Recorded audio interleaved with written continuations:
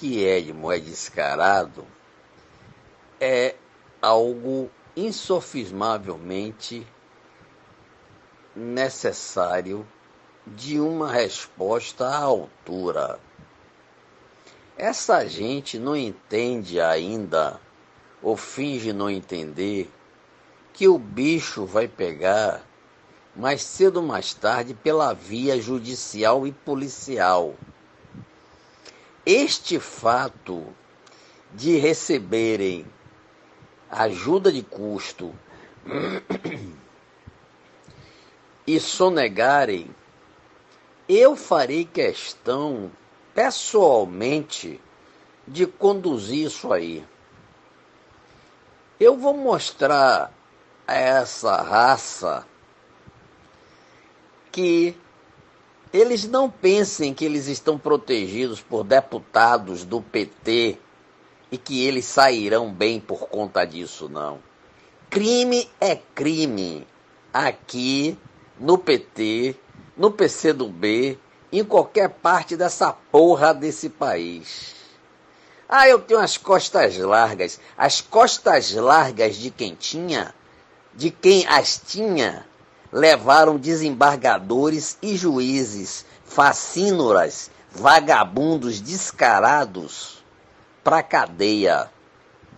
Tá terminando essa era em que juízes e desembargadores vagabundos descarados que vendiam sentenças ululavam pelo tribunal como se nada tivesse acontecendo e eles pudessem ser intocáveis.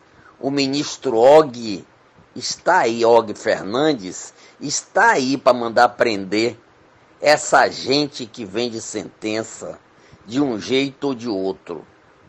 E o que se espera e que se, se sabe que está se expurgando é um tribunal sério, independente, sem viés político. Ninguém julga pela cor partidária.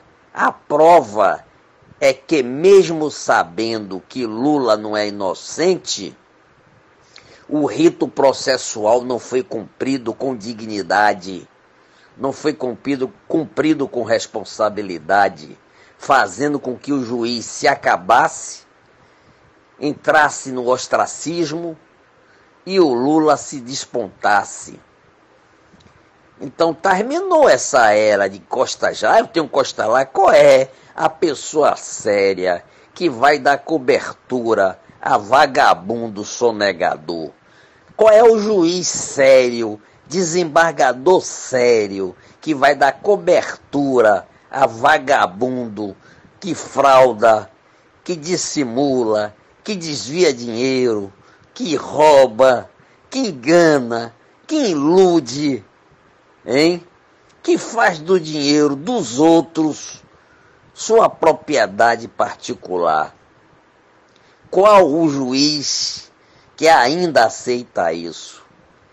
Então não tem PT certo. Não tem deputado do PT certo que vá dar cobertura aliando-se, aninhando-se, achando que vai se aninhar no Tribunal de Justiça. A grande virtude da Operação Faroeste foi que os desembargadores entenderam que os maus, os, os ruins, os vagabundos descarados têm que ser defenestrados. Tem que haver uma limpeza, uma limpeza moral dentro do tribunal e isso está sendo feito. Os bons não vão tolerar os maus. Os bons não vão aturar os maus. Os bons não vão permitir que essa vagabundagem, essa vadiagem continue acontecendo. Entendeu? Então, senhores, se essa turma pensa que porque anda pelos corredores do tribunal e da Assembleia vão sair impunes, estão enganados. Crime é crime. no PT, no PCdoB, no PMDB, no PFL, no cacete A4, seja onde quer que seja. Entendeu? Não pense os senhores que os senhores serão impunes, sairão impunes, não.